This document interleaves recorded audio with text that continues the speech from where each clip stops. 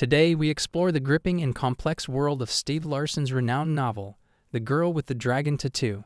This literary masterpiece intertwines mystery, family saga, love story, and financial intrigue into a compelling narrative. The Girl with the Dragon Tattoo starts with Mikael Blomkvist, a journalist co owner of Millennium magazine in Stockholm. His career hits a major setback when he's convicted of libeling a powerful industrialist, Hans Erik Wennerstrom. The conviction shakes his credibility and leaves him facing a short prison term. Meanwhile, Lisbeth Salander, an enigmatic and deeply private investigator, is assigned to conduct a background check on Blomkvist. Despite her young age and punk appearance, Salander is an extraordinarily skilled hacker with a photographic memory and a complex past. She works for Dragan Armansky at Milton Security and is under legal guardianship due to a troubled and traumatic childhood, which is gradually revealed to the reader. Henrik Vanger, an aged former CEO of a large Swedish industrial group, then approaches Blomkvist with a proposition. Henrik seeks to resolve the mystery of his great niece, Harriet Vanger, who disappeared during a family gathering on the secluded Hedeby Island over 40 years ago. Henrik is convinced that Harriet was murdered, possibly by a member of their extensive and dysfunctional family.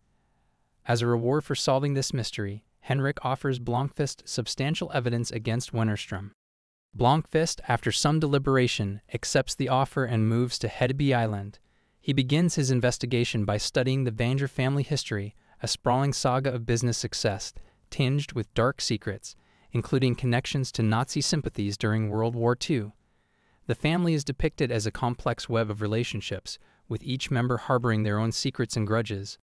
The investigation initially moves slowly, with Blomkvist digging through old photographs, police reports, and interviewing surviving members of the Vanger family. He discovers that Harriet had been very close to Henrik and had been troubled by something before her disappearance. The only clue to her fate seems to be a series of photographs she took during the family gathering on the day she vanished. Lisbeth Salander, following her investigation into Blomkvist, becomes intrigued by his case. Despite her initial misgivings about him, she decides to use her hacking skills to assist him. When Blomkvist discovers her intrusion into his computer, instead of being angry, he is impressed by her abilities and invites her to join the investigation. Together, they uncover a trail of gruesome murders across Sweden dating back several decades.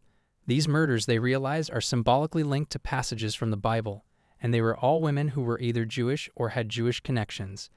This revelation suggests a motive rooted in anti Semitism and misogyny.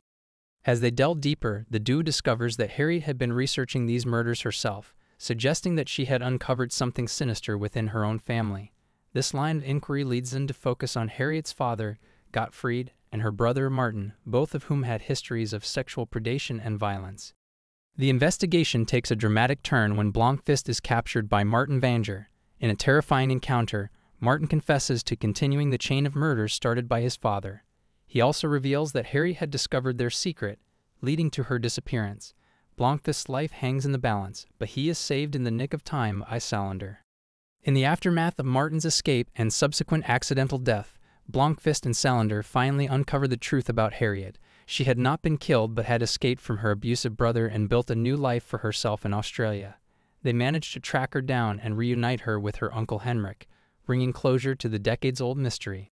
With the mystery of Harriet Vanger solved, Blomkvist turns his attention back to Wennerstrom.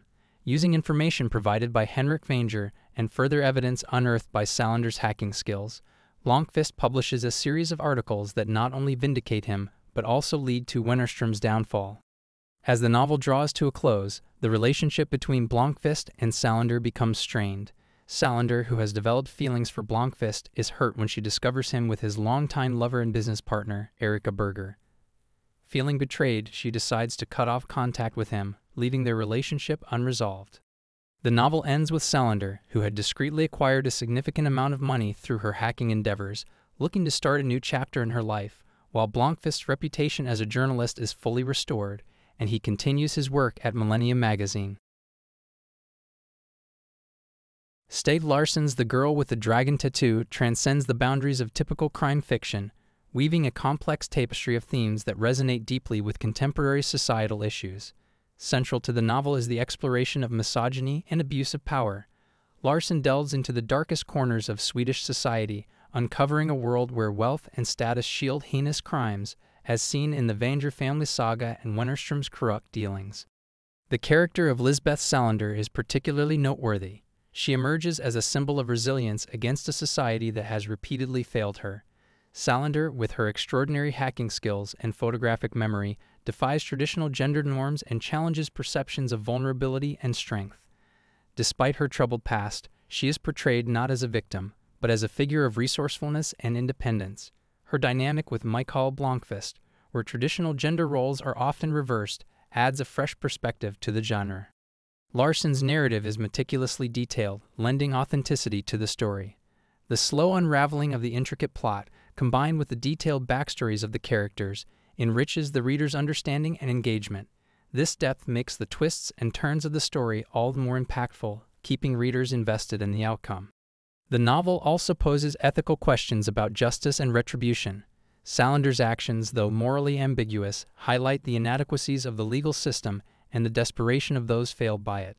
Larsson skillfully uses her character to question the traditional mechanisms of justice. In summary, The Girl with the Dragon Tattoo is a masterful blend of mystery and social critique. Its rich narrative, complex characters, especially the iconic Lisbeth Salander, and the thought provoking themes make it a standout in crime fiction. Larsson not only provides a gripping story, but also invites readers to ponder deeper societal issues, making the novel a significant and enduring work in modern literature. Thank you for joining us in this exploration of Stieg Larsson's The Girl with the Dragon Tattoo. If you enjoyed this summary and analysis, please consider subscribing to our channel for more insightful book reviews and literary discussions. Your support helps us continue to bring quality content to book lovers like you.